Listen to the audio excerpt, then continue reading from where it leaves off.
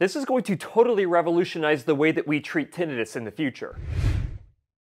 Hey guys, welcome back to the Dr. Cliff AUD vlog. Today I want to talk to you guys about something that is going to totally change everything when it comes to treating tinnitus, and that is biometric tracking. But before I get into this video, do me a huge favor, click the like button. It's going to really help out the channel. And if you are not yet subscribed to the channel with notifications turned on, go ahead and do that as well. It is greatly appreciated. So a lot of you guys are probably already aware that my wife and I partnered with Dr. Craig Kasper, who is a tinnitus expert out of New York City, on our new project called Modern Tinnitus. The main goal of this project was to take all of the knowledge that Dr. Kasper has been building over the past 20 plus years when it comes to tinnitus treatment and standardizing that. Because the biggest problem we have inside of the world of tinnitus treatment is that most clinics, when they find out you have tinnitus, all they do is recommend that you treat your underlying hearing loss, which the vast majority of people with tinnitus have, with hearing aids and just send you on your way. The problem with that is, is that hearing aids are not the most appropriate tinnitus treatment for everybody with tinnitus. Sure, they can be effective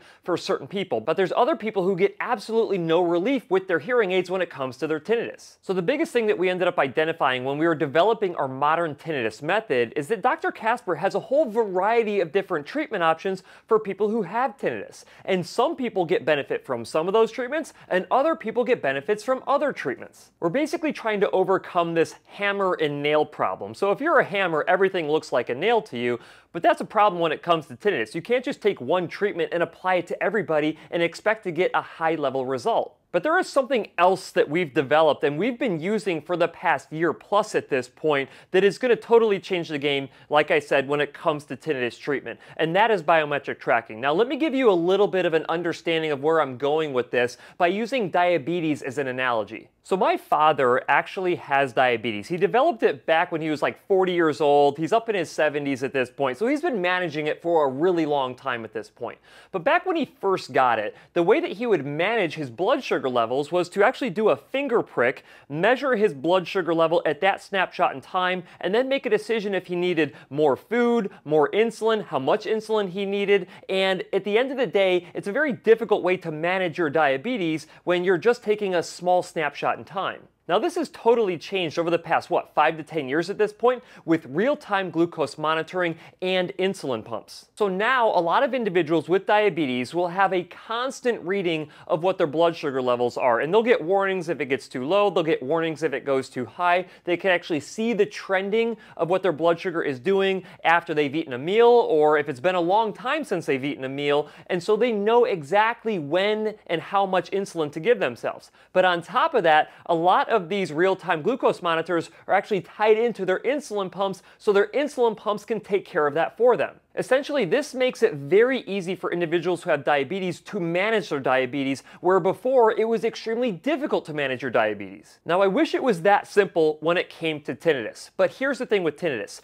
No one treatment works for everybody, but for us to be able to identify which treatment is working, it would be very helpful to have a biomarker that we could use to identify if a treatment is working. So you're probably already aware that you can take different wearable devices like an Apple Watch, a Fitbit, a Whoop band, or a variety of other biometric tracking devices. You can see different things like your heart rate, your respiration rate, how many steps you've taken throughout the day, and a variety of other different biomarkers. Well, the thing that we've discovered when it comes to tinnitus is that there are certain biomarkers that are highly correlated with your tinnitus symptoms. Essentially, we can use these biomarkers as a proxy for your tinnitus and if your tinnitus is improving based on a different treatment that we administer. Now, I'm not going to lie, we're in the relatively early stages of this, but we're already starting to see some pretty impressive data with the patients that we've been treating for the past year plus at this point. Essentially, over the past year of treating patients, we've been able to go from just taking their subjective questionnaire data to see if there's been any improvement in their tinnitus by using a particular tinnitus treatment to actually looking at different biomarkers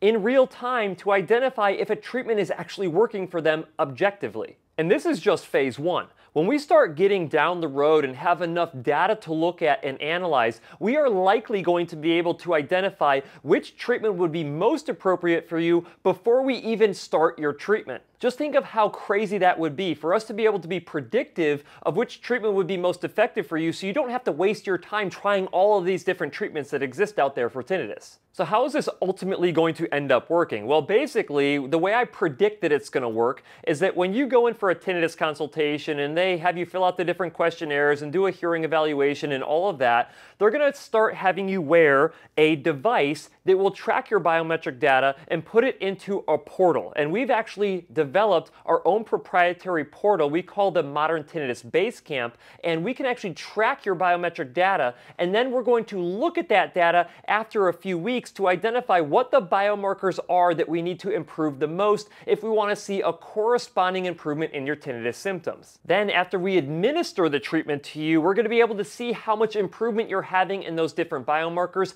and if we need to take a different approach or different strategy to improve those different biomarkers so you can get the most amount of tinnitus relief possible. So yeah, this is going to become a pretty big deal when it comes to tinnitus treatment in a very short period of time. Now the thing that you might be thinking about right now is that sounds really awesome. How can I actually get involved in this? Well, if you're someone who has tinnitus, the thing that you're going to want to do is go to moderntinnitus.co, not .com, but moderntinnitus.co and find a modern tinnitus specialty center in your area. So remember how I was talking about us identifying all of the different ways that Dr. Craig Kasper would approach treating tinnitus? Well, we've actually onboarded a variety of tinnitus clinics throughout the United States that are using a lot of his methods and they're incorporating biometric tracking so we can start using biometric tracking to improve your tinnitus. Now, I have to say that tinnitus treatment has improved substantially over the past 10 years or so, but I think that the most revolutionary thing that we will see over the next 10 years is the biometric data that we end up collecting and how we can use that biometric data to significantly improve